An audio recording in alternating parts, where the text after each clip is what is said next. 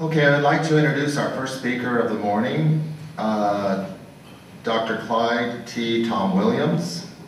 He earned his Bachelor of Science and his Master's in Geology and Zoology at the University of Kansas, and additionally a PhD in Geology and Zoology at the University of California, Berkeley. He was employed for 20 plus years with Parsons Corporation, six plus years with URS Corporation, 10 years with the government of Dubai. He has worked on over 300 EIRs, EIS, and EAs, which I don't know what that means. but I assume it's important. Uh, geology, groundwater, and oil and gas, U.S. and worldwide. He is currently retired, a 30-year owner occupant at Northeast Los Angeles, born and raised in Kansas, Oklahoma, and Texas. Tom is a life member of the Sierra Club and past Golden Gate Audubon Conservation Committee Chair and a member of LA 32 Neighborhood Council. Welcome, Dr. Williams. Thank you. Uh, I'm digitally impaired, so my I've never been able to change my web name from Clyde to Tom, but I'm, I'm progressing. Uh, the history, the technicals, and what do we do about it? The history is quite long. Actually, shortly, well, during the Civil War, they did fracking. They would light a stick of dynamite, drop it down the hole, and hope that it went off. Because if it doesn't go off, you got a problem. Then they progressed from dynamite to nitroglycerin. And they had actually, from the Civil War, torpedoes shaped to go down a well.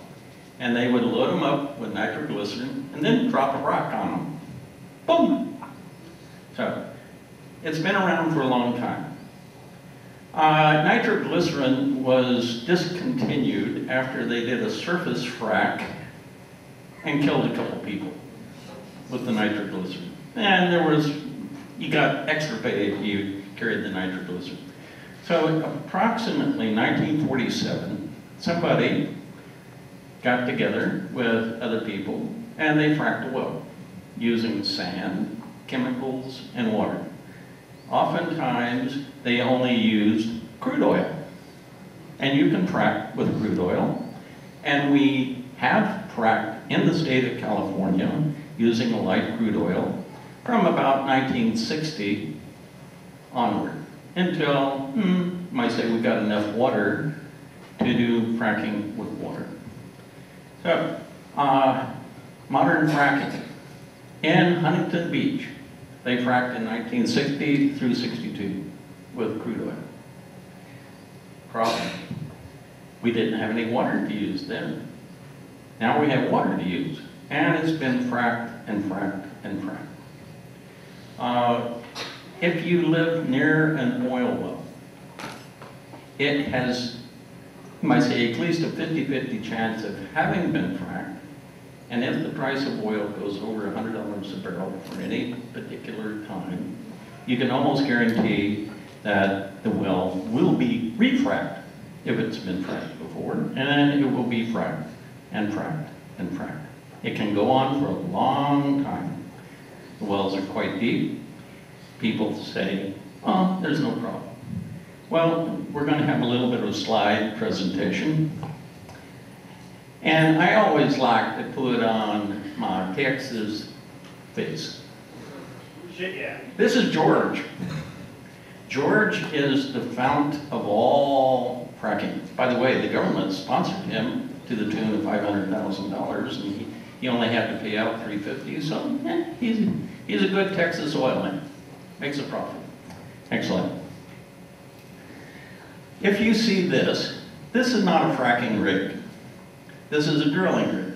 And they can go down to 20, 40, up to 50,000 feet below the surface. Just depends on how long you keep drilling. So, uh, Deepwater Horizon in the Gulf of Mexico was in 5,000 feet of water and 15,000 feet below the seafloor next slide. This is an aerial of a fracking operation. There's no rig. The only rig, next slide. Well, you can see in the far left side, that's the headworks for a fracking job. All of those blue things are big, big, big pumps. And they have to deal, uh, deal with up to 8,000 PSI, pounds per square inch at the surface. Oftentimes five, up to eight or more, which exerts enough pressure on the formation that they've targeted to break it like a brick. Take a hammer, hit a brick, and you have fracked the brick. Excellent. Uh, they have to have, oh, by the way, this is a fracking rig. Is just a hoist. All they have to do is pull things up and down, that's all. They don't need the big rigs, so they can frack almost anywhere. But they need to have a lot of land. So, they also need to have water. Sourcing the water, storing the water on site can be done in tanks, but a big frac of, say, a million gallons of water takes a little bit longer. Uh, next slide. This is a bad fracking rig. It got a little bit overweight and the ground was a little bit too soft. Next. Ne- Next slide. Next slide, next slide.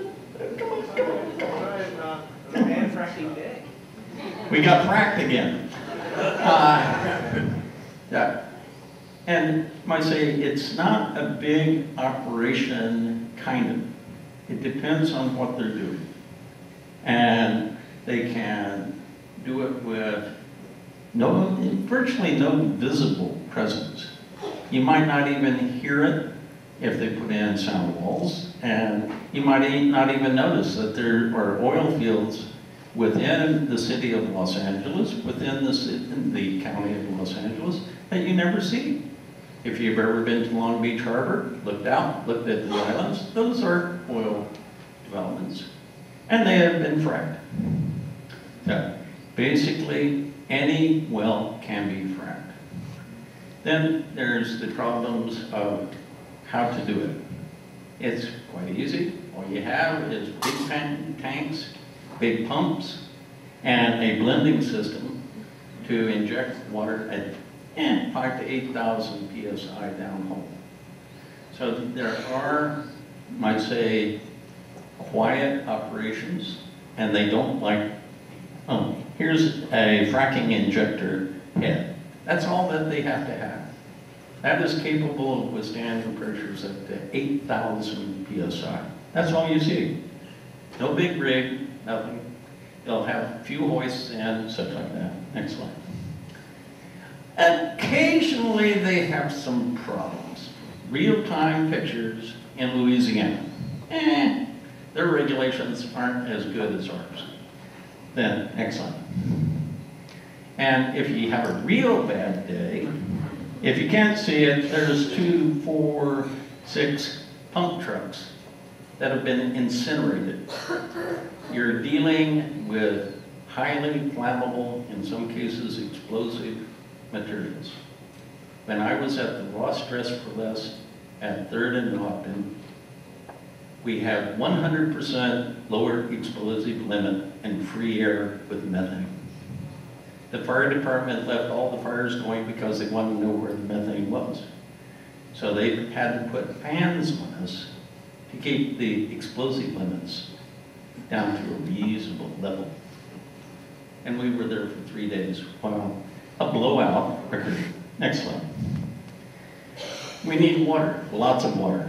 Right now, California has very small frac jobs, maybe 80,000 to 100,000, maybe a quarter of a million gallons used in a matter of two days. Next slide. This, you see the yellow stuff, that's sand. They need lots and lots and lots and lots of sand because you're forcing sand into the formation. That's also with chemicals. This is commonly called flowback. Next slide. Dr. Williams, five minutes. Yeah. Whoops, we had a problem. You have problems. we got fracked again. Uh, you can refract slides also. Can, that's good. Okay. Um, you're dealing with high pressures. Nobody can even imagine what 5,000 or 8,000 psi deals with. And remember, the gas is going to be coming out at those sorts of pressures. Somebody asked me about going to the Deepwater Horizon, and I said, I'm too old.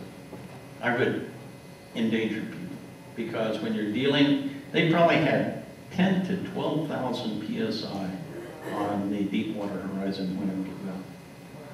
They couldn't control it. Why? Because they didn't want to pay for a test of the blowout preventer. That was a real problem there. It's better if you flash it like this, but this is in Louisiana, they're not allowed to do this in dear old California. Uh, next slide. We got fracked again. Uh, Okay. uh, The basics, what can we do? We can support people like Paul and Gary, Patricia, because we're here.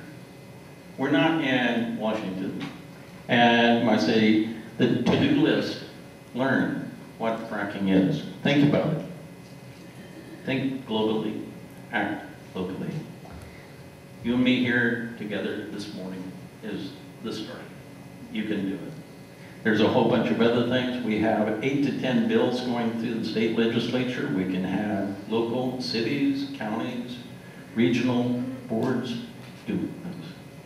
So we're here together to learn, to think, to do.